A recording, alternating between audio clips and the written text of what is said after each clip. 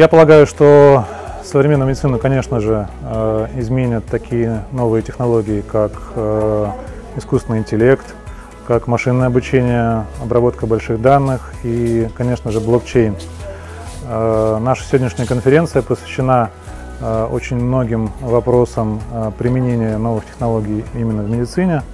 Мы пригласили на нашу конференцию сегодня на питче так называемые целый ряд проектов, которые а, уже позиционируют себя как а, медицинские, как совмещающие технологию и медицину, проекты, автоматизирующие некоторые процессы в медицине.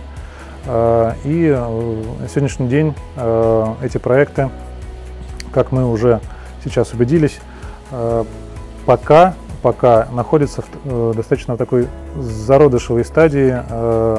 Э, э, большинство из этих проектов мало на самом деле реализовали кейсов, которые встречаются в реальной медицине.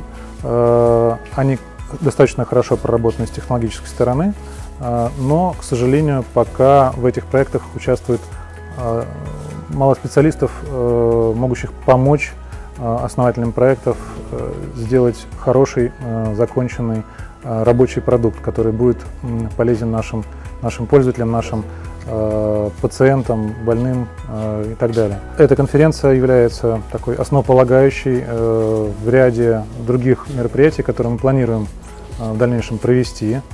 Это необходимо именно для того, чтобы произвести стыковку двух разных мнений, двух разных сфер – Э, двух разных э, областей знаний.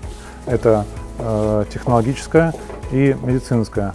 Мы ожидаем, что Центр блокчейн-компетенций, который сейчас организован на базе имени Петрова, станет той самой стартовой площадкой для блокчейн-проектов в медицине, которая позволит им принести настоящую пользу, пользу обществу.